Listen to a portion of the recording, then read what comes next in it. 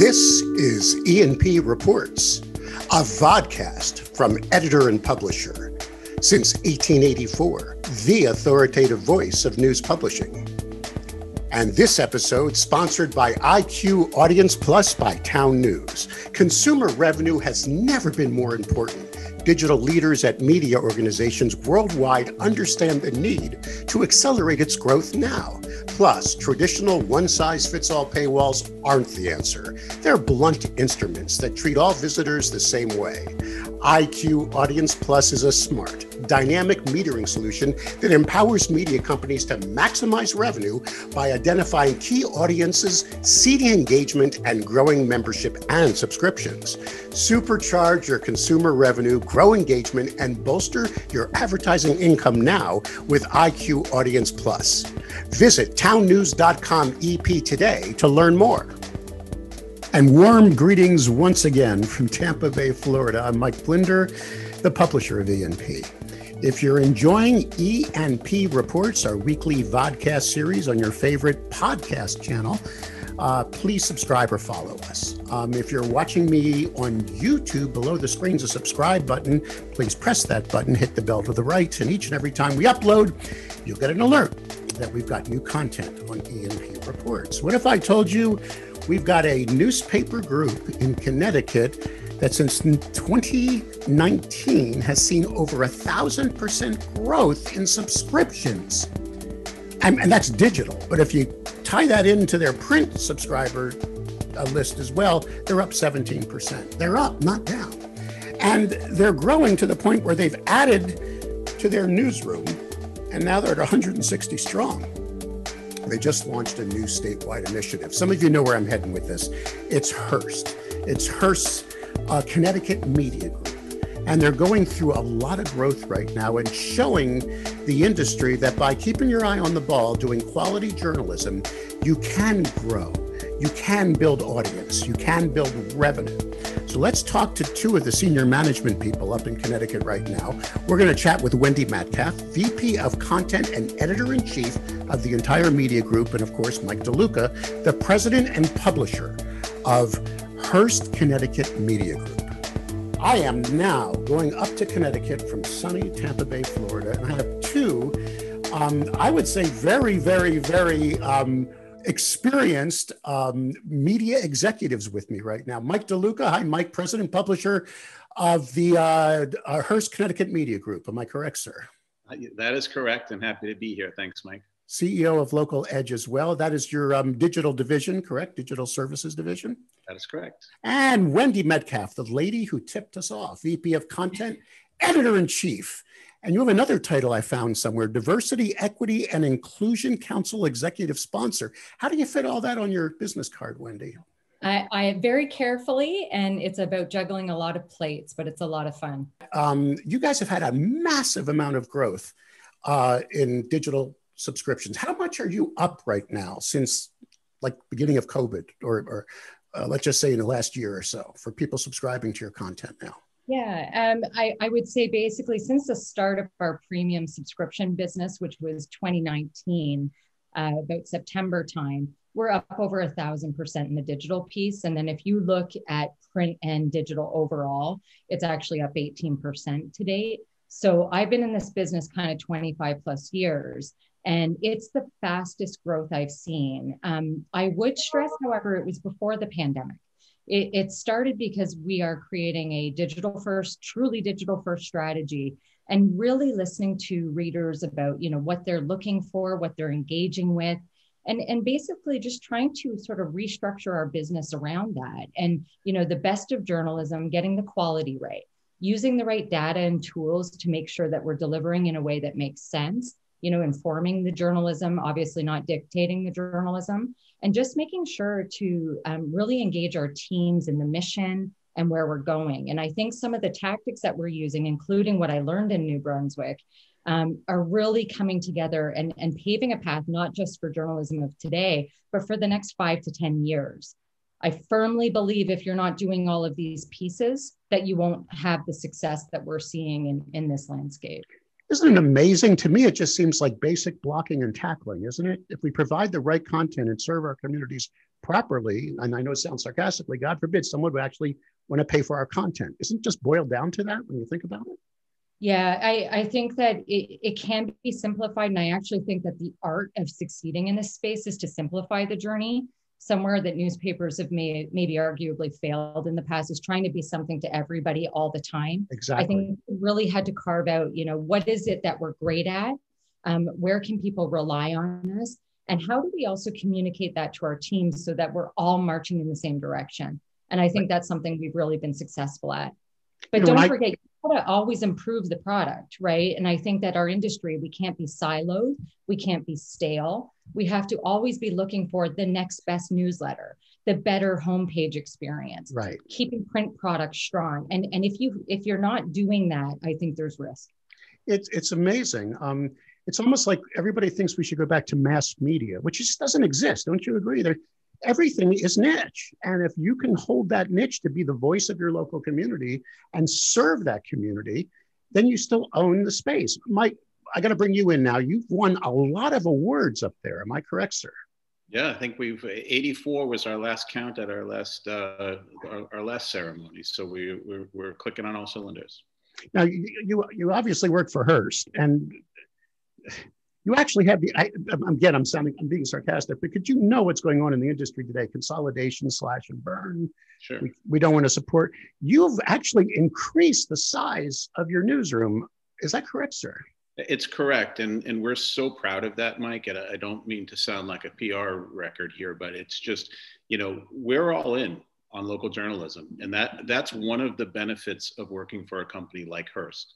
We have the ability to play long ball and that doesn't mean that we aren't maniacally focused on our numbers and our metrics and our KPIs every right. single day, but we're also looking at it from the long the long term and the importance of local journalism to our communities. We all know I love Google, I love Facebook, I mm-hmm. use them both all the time. I don't want them controlling local journalism. And it's important for companies like us and our industry across the board to make sure that we are providing quality, useful great information and journalism to our communities because it's it's part of democracy. And you've actually uh, attracted a reporter from the famous Spotlight team at the Globe. Is that correct? That's that's correct, and and I would say he he's been fantastic. Um, but it's not just him. I mean, it be, between um, you know between Leanne Griffin uh, from Carolyn Lumsden, our new op-ed editor, um, you know Dan Breslin, um, you Ooh. know Mike Anthony. I mean, we are we're we're trying to put together the New York Yankees and um, you know, the nice thing about you know some of the wins we've been putting up and, and podcasts like this to help get our message out, um, it's a place where people want to be. And I, I, think that I think that's a, a, a, sharp contrast to some of the things you're seeing in our industry right now, and, and some of the, the, the people trying to play a different game um, than we are. And that's something that I, I think we're really proud of. Wendy, let's. What's it like in your newsroom? How do you get that? It's not the. It's not the comp, right? It's what is the. If I were to walk into your newsroom today, and or excuse me, I think you're still working remotely. So let's just. If I were to attend one of your newsroom meetings on Zoom today or whatever platform yeah. you guys use, what's it like? How are you keeping the energy? I mean, with this team. Yeah, so I, am very fortunate to have about 160 people by the end of this expansion. And so, if you, you take a news meeting, for example, what you're always going to see is an energy and a passion. And we always want to be better than the day before. So when we come in, we're very data focused. What is the audience telling us? What right. journalism can we do? How can we meet the test of relevancy, which is really important in every story selection that we make? And basically just listening to the team as well. You know, how much diversity is in the room? What voices are we hearing? How can we hear multiple different angles and thoughts on, on what we carry out in that day's work? And I think that from there, it's basically as a leader, how can I support you? How can I give you the tools? How can I give you the training? How can I show you where I think we need to be? And I take great pride in that. Um, for example, you'll know from newsrooms of the past, we don't always train leaders don't always need to uh, have training to lead or you know how do we invest in better systems from you know content management systems to newsletter platforms So I think that's probably a key part of our success. The other thing I try to do as a leader is I have Ask Me Anythings every four weeks where my team can ask me anything they'd like. I survey them on how we're doing, I listen to what they're saying, and we always like roll that out every four weeks just as a chance to connect on a more long term uh, level. But on a daily basis, we're all in there fighting the best fight and giving our best. Mike, how do you do it? it's like I, I just heard I, I, I just heard such energy. Is that is that is that permeating through your entire division now? I mean, if I were to attend one of your sales meetings or your operations department or what have you, where is this energy coming from in a world of where you know all we read about is doom and gloom? Sure. What's going on? Sure. I, I you know what I, I really think it comes back to the the the mindset of investment and growth, which we have which we have been fortunate enough to be able to do. And if you're feeding the engine, then you're going to get something out of it. If you're slashing and burning your way to to try to hit a short-term number, um, you know that's going to weigh on the organization when we're able to put out the announcement like we did yesterday and launch the website that we did yesterday, that gives an organic energy to the organization. Um, Wendy, I, I, would, you know, and when you ask the question, how do you do it? How do I do it? Is by hiring people like Wendy. Um, and I have an executive team across the board who I wouldn't trade for anybody in the world. And um, it's just we are we we feel very fortunate right now as to where we are. Now mike i also want to be clear. We're still in a tough space. We're still facing print declines. It's not we're not immune from the the, the headwinds that the industry is facing. It's just i think that the way we're going about it and how we're attacking this um, is refreshing to our employees. And i think as a result of that you get further motivation. You get people who who are excited about the mission who who want to go the extra mile because they believe in what we're doing all right, you've got the Connecticut. Your flagship is the Connecticut Post or the and the New Haven paper. Those are your two biggies. But it's a total of 22 papers, 24 websites. How many offices are you managing, Mike? I mean, how many? How far? How far and wide is your team? Yeah, so I, I, mean, I would I would say that our, as you said, our our Norwalk office, which is sort of you know close to the Connecticut Post, is in uh, in the New Haven Register. New Haven are our two largest offices, and then we have five other offices strewn throughout who are just sort of more in the in the the smaller communities. Uh, Danbury is also another large one, which is one of our dailies, the the News Times. So it's uh, call it call it six offices. Um, really, three three are kind of hubs. Uh, how many total employees in the uh, um, Connecticut Media Group? At or around 350. Wow. Okay, so the two big topics that I am hearing from everywhere and everybody's jumping on, whether it's research or they're number one is uh, we can't support our newsroom with advertising only. So we have to go for audience revenue, which we're going to talk. We're going to dive a little deeper in in, the, in what you've got and what is making that growth. The other is now branded content, sponsored content, native advertising. Uh, Wendy, excuse me, I'm going to show my age. When I was a pup, it was advertorial, but you can't call it that now. I understand the differences. What is your policy on that, Wendy? Are you blending church and state a little at uh, Hearst? What, what, are you no, doing? No, absolutely not. Um, obviously, the integrity of the newsroom is paramount. We want readers to always trust the information we're providing, and it's distinctly church and state. It's the same thing you've probably heard from the industry um, for dozens of years now. That's incredibly important to the newsroom. We stand alone, and I know that Mike and, and our counterparts in the exec team uh, support that. That said, I'm sure Mike can talk to you about sponsored content and the opportunities that that might create for the advertising team. But I think in essence, you know, when it comes down to the journalism we do, you know, factual, uh, balanced, fair, and even better when we can uh, write content that truly saves lives, change lives, causes societal good. So we're deeply founded in these journalistic principles. And, and I can tell you they mean everything to me and the newsroom and to Mike someone wants to look over this content and see mean, where where would you right now? People want to look at what you're delivering. Where would you send them? Which URL do you think they should start their journey at, Wendy, and why? Well, it's a great question when there's 24 products. Right. it, it, depends. Do you like sports? Do you want um, a real flavor of what's happening across Connecticut?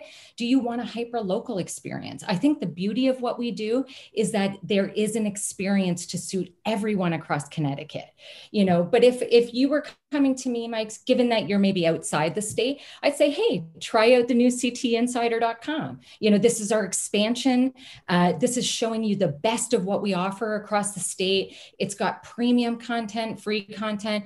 And, and I think, like, look, just yesterday, we put out everything from a major investigation that looked into police misconduct, that's actually headed by the uh, Spotlight editor that you mentioned. Um, to you know where to get the best slice of pizza. You know we want to be able to offer you know what's topical and conversational and highly engaging and trending but all the way to our best work that i truly think that maybe next time we'll be talking to you it, could be a pulitzer contender. Give that url one more time of the new launch. What was that again? Um, ctinsider.com and then the local expansion is ctinsider.com slash shoreline. Okay now this is where you started aggregating all of the different brands in, under one uh, I guess you call it what would you call it? One one bucket okay? Where you're taking the best of and you're putting it together. This is similar to when I had a conversation Mike do you know the Shaw family out in um, Chicago suburban Chicago? Um, um, we, we, talked to um, Tom Shaw who, um, and he took his regional um, weeklies and all of his different products and created a similar um, kind of a content meld. Am I saying that correct, Mike? What would you call I it? I think that that's right. You're you're you're getting there. Why? I, now this is the question I asked him, and he's. I, I go way back. When, how I when I started consulting, I worked with a thing called Ad One, which was was financed by Hearst back then and Gannett and McClatchy and others. We were trying to aggregate our classifieds. This was many years ago, and it was like herding cats. Are there holes in Connecticut and I, and I have to ask you this, Mike, or maybe this is a corporate decision. You might let some, because newspapers aren't competing with newspapers, are we? You just said it. You're competing with Facebook and Google to take what almost 70, 80% of local revenues off the street. Is there a way that could even, we could all start working more together? Or am I just, you know, being too Pollyanna right now? Uh, you know, I, I, I don't. All I would say to that is we're we're trying to do the very best we can in the okay. footprints that we are. Um, we see with Connecticut Insider, it isn't a, it's not a shot across the bow at anybody. What it is is an opportunity that Wendy and I saw to say there's a there's an opportunity to fill a to, to fill a void right now in information and news across Connecticut, and we were poised to be able to do it and do it well. Um, the Connecticut Insider brand is something we are excited about because it is our, it is our first statewide, as you as Wendy mentioned before, we've 24 publications all geared towards a specific geography. This is this is kind of our first attempt at an overall umbrella around all of it. Where that could go in the future is, you know, frankly, we're we're going to see. But could we one day see Connecticut Insider be a one site? and with drop downs to every one of our local newspapers and, and regions, you know, potentially. Um, there's lots of things, as you know, with SEO and brand and all that kind of stuff that you'd have to consider before doing that. Um, but we're we're not going to necessarily make that decision right this second. This is, you know, we're day day two, and we're going to see how things go. of the statewide effort, yeah. which is not, which you're not the first. I mean, Walter Hussman in Arkansas I mean, sure. uh, I mean, or uh, PJ Browning down in uh, Charleston, she's making, she's doing a statewide play now, or even the uh, Denver Sun. You know, the, the, guys that came out of um, um, uh, the Denver Post and started, and now they're doing a statewide play. Wendy, this is interesting to me because one of the things um, I did, my first clients were Canadian because from there I went I, I picked up um, um, the Sun papers up there um, and kept flying into Toronto and all that kind of stuff. I used to be the editor there. Oh my! so thanks for reading. oh my! Oh, I, I I spent years going in there. The, your your CEO used to call me with his. He was a wonderful man with his French accent. Super Mike. He kept saying every time I showed up at the home office. I, I think I know who you're talking about. Yeah, and um, and canoe. Does that ring a bell? Remember that? That's correct. Yeah. Um, but here's the thing. I wrote a study on this for them that Canadians were very provincial. Do you follow my logic? The province meant more, and I said, but in the states, the state doesn't mean as much. Am I wrong? I mean, it's you are really a making a play for. Go ahead. It's such a great question. Um, you know how I would answer that? In our experience with the different sites that we have, local is first what's happening in my community is the most important thing and that that magic word of relevancy every time however when we arrived here and through my experience in canada i knew that the audience was willing to travel you know that they were interesting in interested in neighboring cities but also their state. So we've had very positive you know not just research but also the data with the audience data that we get that confirms that approach and to answer your previous question, the strategy of going statewide is to lean into the core content we provide and, and elevate it across the state. However, we're also doubling down or adding other areas. And I think part of the strategy isn't just geographical, it's, it's leaning into these content areas that are of high interest no matter where you sit in Connecticut. To give you an example, UConn Sports People love UConn sports, and it doesn't matter if I'm Sutton Greenwich or Fairfield. So we see an opportunity there, and not just through the website. We have newsletters now to experiment with. We have more opportunities through social, through UGC. You know, so I think that it's basically um, looking at it a little differently and trying to make that expansion strategy very unique and relevant to the audience. The other thing I wanted to elaborate on is industry it was actually just last night I was saying to Mike, when we win, I feel the industry wins. And I find that in the last few years, there has been an increased amount of sharing because we are up against the same headwinds. So when I was in New Brunswick, in fact, I spent a lot of my time in Europe or the United States learning from the best in the business where we would confidentially share on best practices, you know, to help each other. Obviously, if we're neighboring competitors, the conversation could be a little bit different, but I do find that there is a hugely increased amount of sharing because we want this to be successful for a healthy democracy. Journalism needs to survive and that's everybody's, you know, primary goal. Okay, so one of the things you said earlier really hit home with me because I was a sales consultant and I used, you know, I wrote the book in 2008. And I say, rule number one, it's a numbers game. Rule number two is when in doubt, go back to rule number one. If you're not looking at metrics, how can you manage? And it goes back to, you know, way, way back to the training I had through Carnegie or what have you, that you just don't say to an employee, do better. You say, if you can expand this or grow this or do that. So you're looking at metrics, you said, at every meeting. Is that likes, shares, uh, what they're clicking, uh, hang time on a page. Is it all of the above? I mean, give, give another editor right now, no matter if they're in a huge market or a small market, the kind of metrics you live by when you're managing that team towards these kinds, these kinds of excellence. Yes. Um, you know, it's everything but the art of it is to simplify what's important to you. And that can be different for each newspaper. So for example in my past life when i was in new brunswick i actually was one of the first editor-in-chiefs globally to basically oversee circulation marketing customer services as well. Because what we were trying to do is put the reader at the very center of what we do. And what are the different touch points that are going to basically you know touch on their lives? And journalism being the key but all of of these other areas were surrounding it. So I learned a lot about what the data was telling me in that regard. How long were they staying as a subscriber? Why did they leave us? what were they reading you know so it's all based on how to empower uh, you know our relationship with them and how to be better I think what I have learned, however, is that data should tell a story. You know, so one of the things that we work at is where do we want to take our audience? What's important to us? And and what can we learn to improve both the journalism but also the vehicle of which they're reading whether it be you know print and, and what you learn from an e-edition to the newsletters that they're reading. So the goal is to also create something simple that a reporter could come to and say how am i doing today? You know maybe how am i doing against my peers what might I be missing?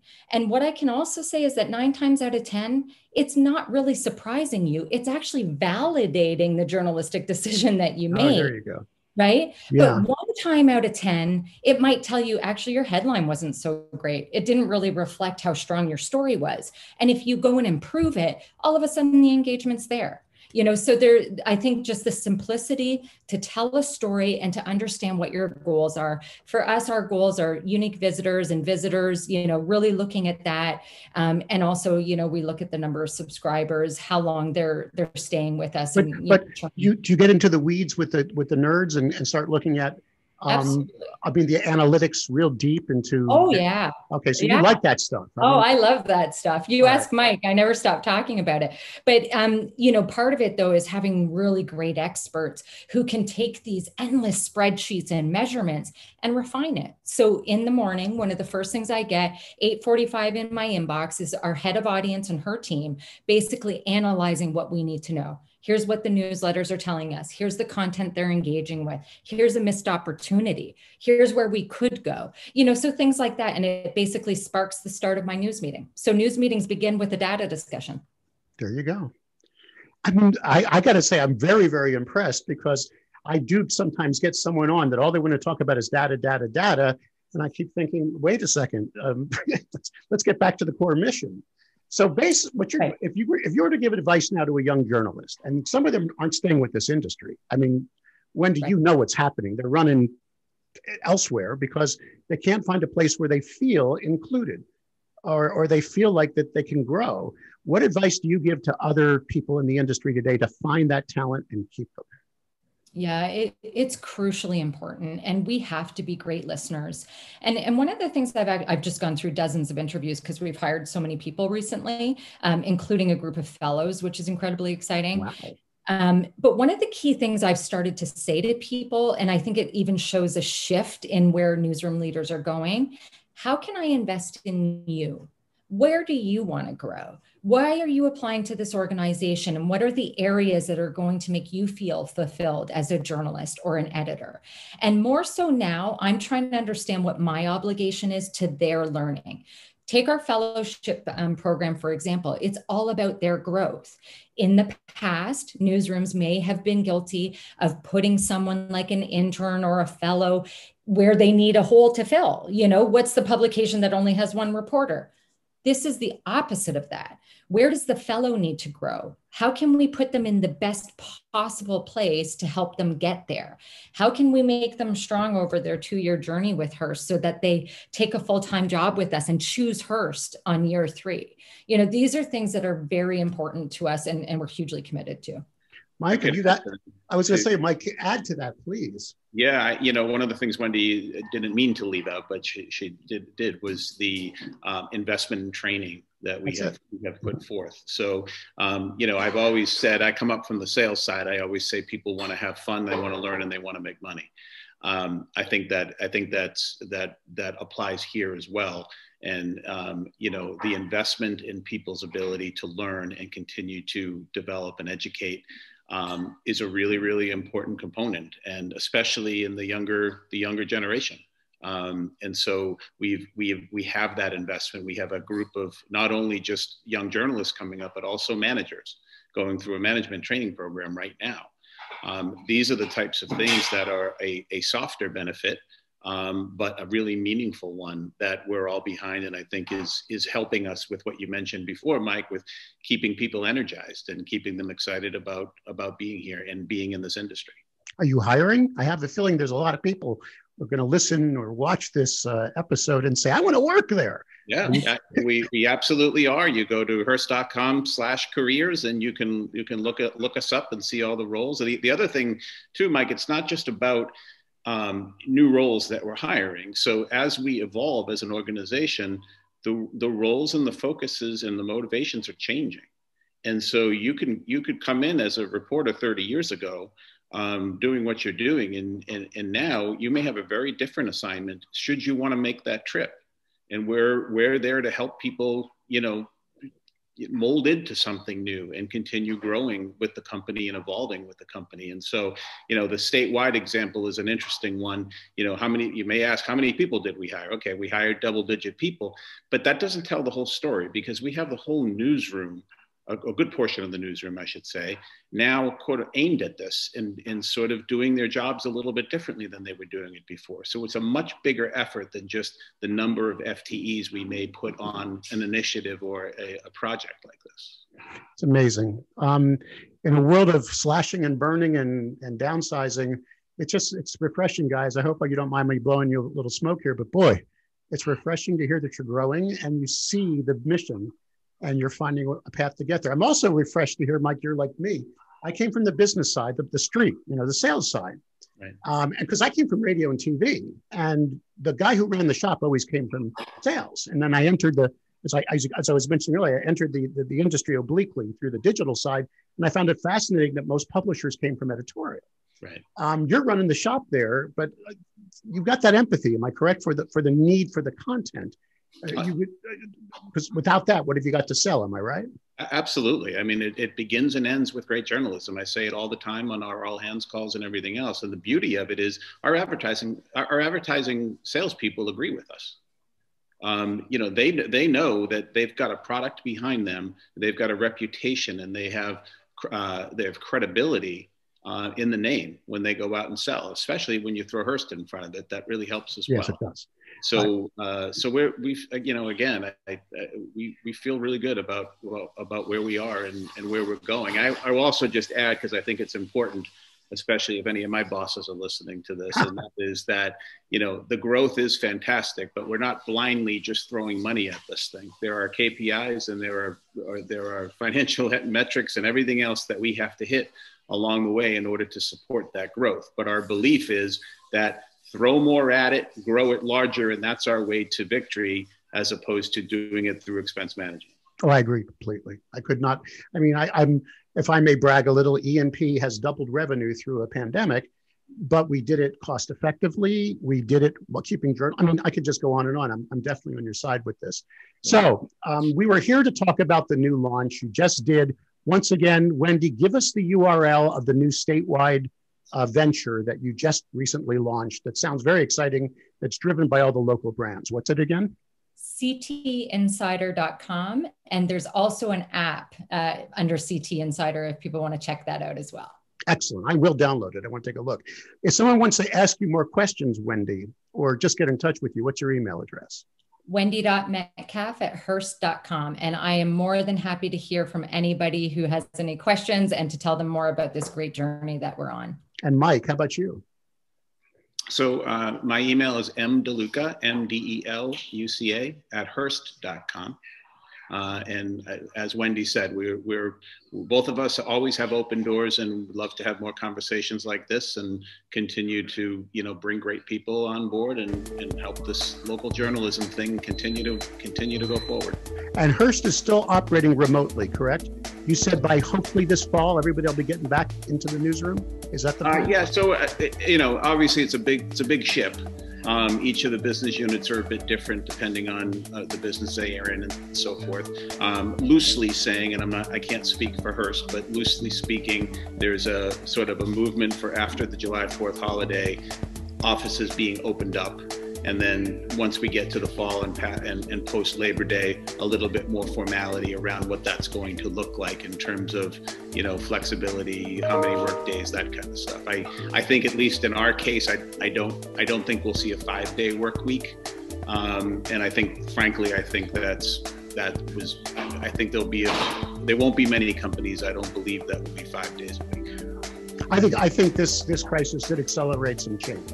Yes. And it'll be interesting to see how you start taking more advantage of remote um, uh, and still maintain. And it sounds like, Wendy, you've had no trouble maintaining the site, even though some of that's across a screen rather than in a conference room. So good for you as well. I appreciate both of your time. I really do. This is a great story thank you for sharing it with E&P and sending it to us. We'd like to check with you guys again because something tells me there's going to be more growth in the months to come. Would you please stay in touch with us and we'll, we'll try to you know swing back to you guys in a couple months and see what's going on. That's yeah, and thank you, Mike, for everything you're doing. And Wendy and I really appreciate you taking the time to spend with us and, and best to all of us.